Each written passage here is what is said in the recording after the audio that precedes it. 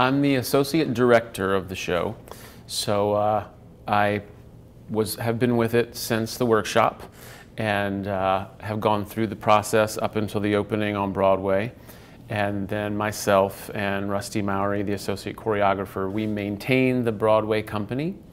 Um, and subsequent productions, we help mount, like the US tour. We've been to Korea and done a production all in Korean. Can you describe your career and the day to day work that you do? A day in the life uh, in New York when we're not putting up another company um, can entail uh, auditioning replacements for the Broadway company.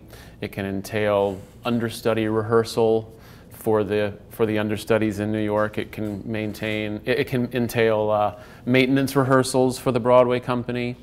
Uh, and then we watch several shows during the week and take notes. What are some of the unique challenges that you had to face when working on this show? The vocal demands are great, but then once you cast the vocal demands, because logistically they have to be able to do that, then you think, now I hope that they can act. you know, it's a, it's a casting challenge.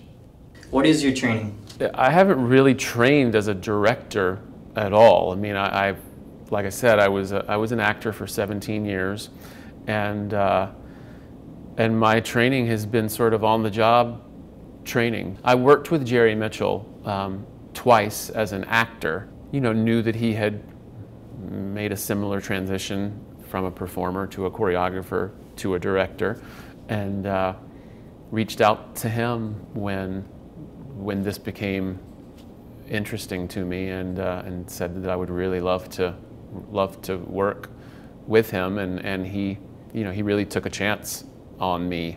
Did you always know you wanted to do this job? One conversation I had with a friend one time when I was in a show and really frustrated by the process and, you know, and I said, I just don't understand in this scene, you know, the, the it's so darkly lit, you can't see anything this person is moving on every laugh line they have. And, and he looked at me and he said, You know, that's not your job, but it could be if you wanted it to be.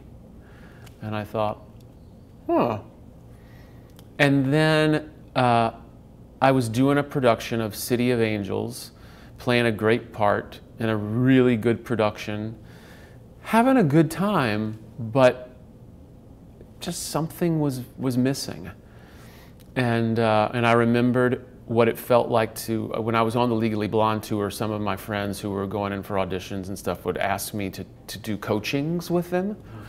And I remember the satisfaction that I got out of that.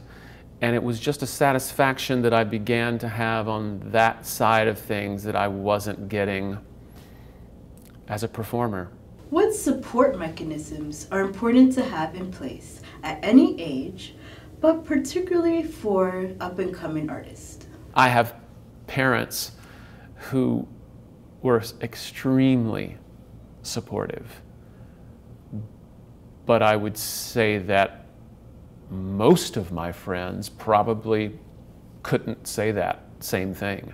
I think the majority of people that I know had a tougher rather than easier road in this in support. So just knowing that you're knowing that you're not alone and knowing that there are plenty of people who are on the other side who didn't initially have it but but found it in other in other ways.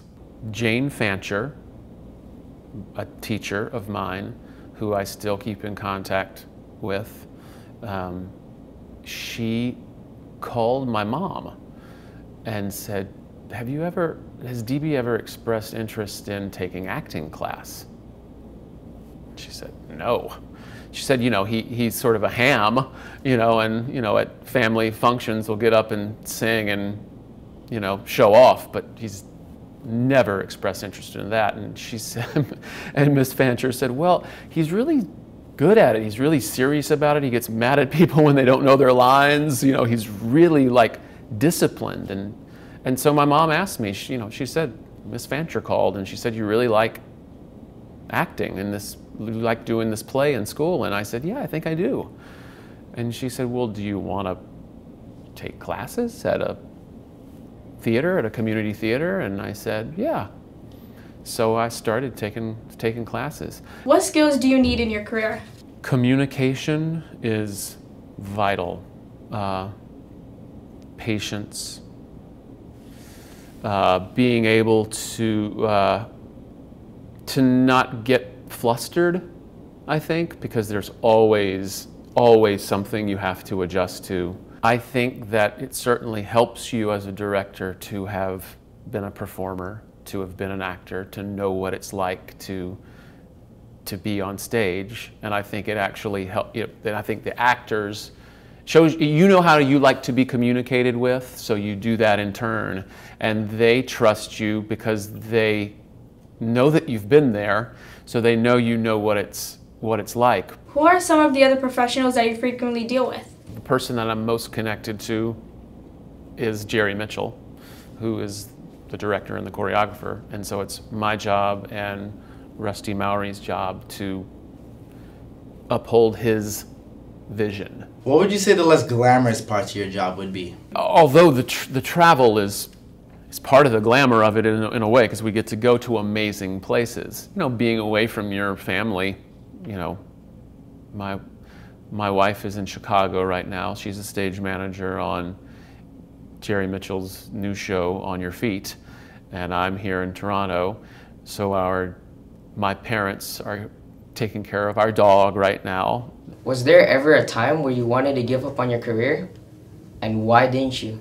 I think it becomes even more uh, frustrating sometimes when it feels like a job because it's a foreign feeling.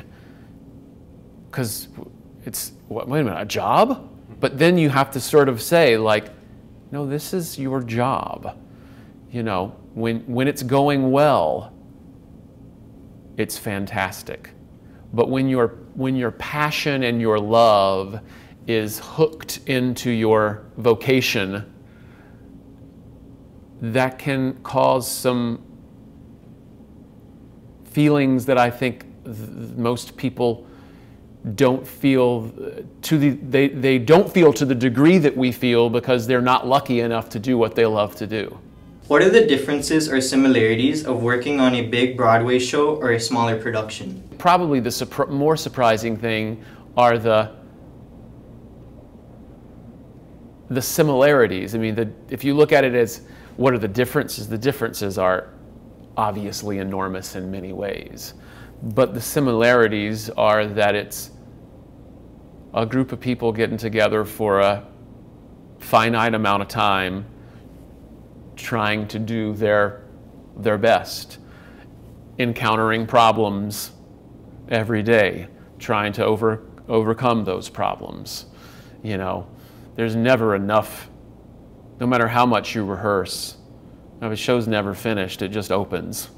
What is your favorite part of your career? There is nothing like seeing the growth of a cast and maybe a particular performer there's nothing like seeing that process from the beginning to when you get in front of an audience. And there's no satisfaction that I've ever felt as an actor that compares to feeling like that you helped create something and you helped and you helped somebody, maybe even a particular performer, you helped them grow.